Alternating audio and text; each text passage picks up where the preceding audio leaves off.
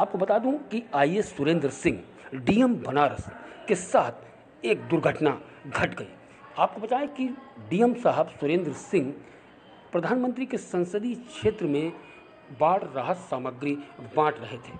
बाढ़ राहत सामग्री बांटने के दौरान एक दीवार गिर गई, जिसके के नीचे डीएम सुरेंद्र सिंह दब गए। आनंद फानंद में उनको वहाँ से निकाला गया, लेकिन उन्होंने चोटों की परवाह न करते हुए राहत सामग्री बांटना